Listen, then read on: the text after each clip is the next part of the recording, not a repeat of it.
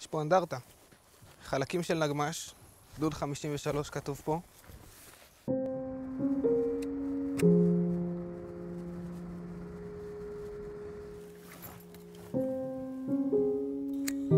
הלכתי לרופא, במחלה שלא הייתה לי, ואז אמרתי לו שאני רוצה להיות חובש.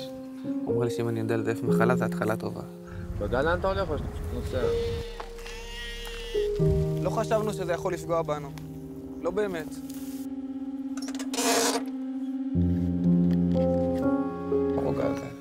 זה מה שזה לילות באוטו.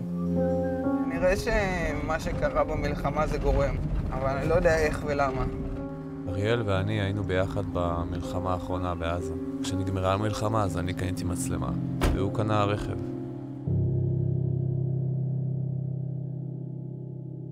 אתה רוצה להישאר פה עוד? מה אתה רוצה? אני מיציתי.